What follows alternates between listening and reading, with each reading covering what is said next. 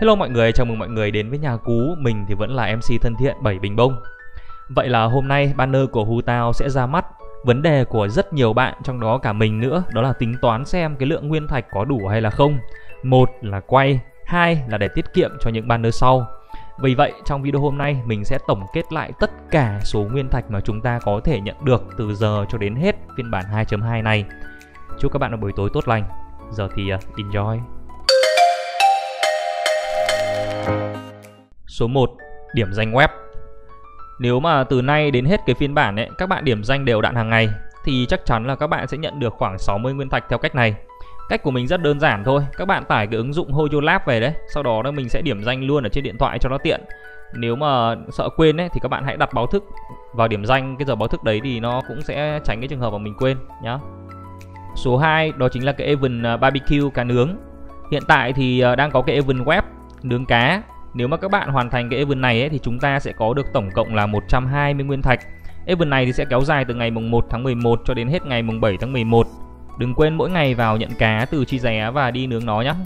Số 3, Event khiêu chiến chiến binh bí ẩn. Vì event này đến ngày mùng 8 tháng 11 mới kết thúc nên là nó cũng sẽ nằm ở trong danh sách này. Event này nếu mà các bạn đi đủ và làm hết tất cả các nhiệm vụ phụ ấy thì tổng cộng chúng ta sẽ có được là 690 nguyên thạch. Đây là một con số khá là lớn so với trung bình 400 nguyên thạch mỗi một event của Genshin Impact. Vì vậy nếu mà các bạn vẫn chưa đi hết các ải đấy thì hãy cố gắng là bỏ cái thời gian và hoàn thành hết đi nhá. Số 4, Event bóng hình cổ xưa.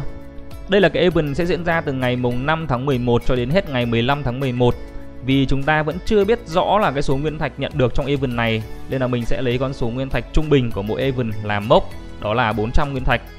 Rất là hy vọng event này chúng ta sẽ nhận được đến 600 nguyên thạch như event trước. Nhưng mà đời thì không như mơ, Nên là chúng ta sẽ dùng con số trung bình là 400 nguyên thạch để tính toán nhé Số 5 Event giấc mơ hoa. Cái sự kiện này thì sẽ diễn ra từ ngày 12 tháng 11 cho đến hết ngày 18 tháng 11 cũng như event ở bên trên kia thôi, vì không rõ cái phần thưởng mà chúng ta nhận được sẽ là bao nhiêu, nên là chúng ta cứ lấy con số 400 nguyên thạch làm mốc để tính toán. À cũng tiện nói luôn một thông tin dành cho các bạn. Đó là MiHoYo đang tăng dần cái hạng mạo hiểm để có thể tham gia event hiện tại đang là R30 rồi.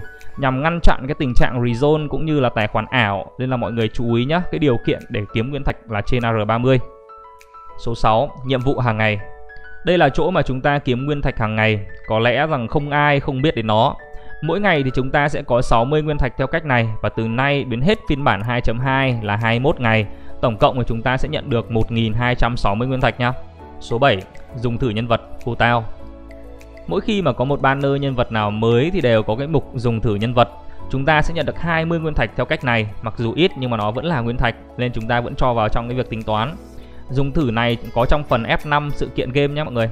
Số 8, La Hoàn Thâm Cảnh. Ngày mùng 1 tháng 11 vừa qua thì Genshin Impact đã refresh La Hoàn đợt này và đến ngày 16 tháng 11 thì chúng ta sẽ có thêm một cái lần refresh nữa. Dù có nhiều bạn chưa chắc đã đi hết được full sao La Hoàn từ tầng 9 đến tầng 12 nhưng mà đây là thống kê, con số thì không có tình cảm. Nên là mỗi mùa La Hoàn chúng ta sẽ có là 600 nguyên thạch, tổng 2 mùa sẽ là 1200 nguyên thạch. Cố lên nhé, những cái bạn mà chưa đi hết La Hoàn, mình cổ vũ cho các bạn. Số 9. Người chơi hệ nạp thẻ Mục này sẽ tính thêm cho các bạn nạp thẻ tháng và nhật ký hành trình nhé. Với thẻ tháng thì mỗi ngày chúng ta sẽ có thêm 90 nguyên thạch, vậy là 21 ngày tổng cộng sẽ là 1890 nguyên thạch. Với cái nhật ký hành trình ấy thì chúng ta sẽ nhận thêm 680 nguyên thạch ở cái level 50 nhật ký hành trình. Đó, chúc mừng các bạn. Số 10, tổng kết.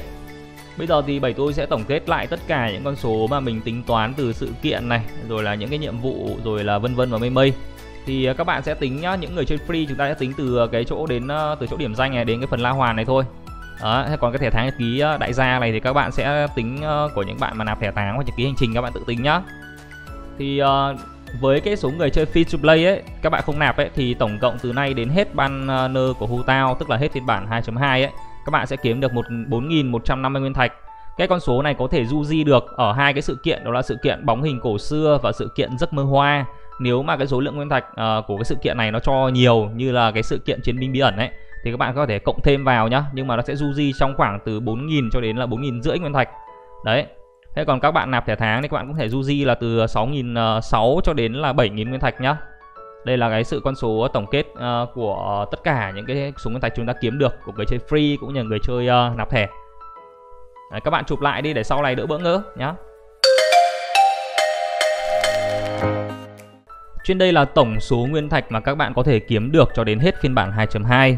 Ngoài ra ấy, bạn nào mà chưa làm cái nhiệm vụ hẹn hò này, chưa đi mở hết các hòn đảo, còn nhiều dương nhiều nhiệm vụ thì các bạn cũng nên là hoàn thành để nhận thêm nguyên thạch cho bản thân mình. Chúc các bạn thành công. Nếu các bạn thấy video thú vị thì vui lòng để lại cho mình xin một like và một đăng ký kênh. Cảm ơn các bạn đã theo dõi. Xin chào và hẹn gặp lại mọi người trong những video tiếp theo. Bye bye cả nhà.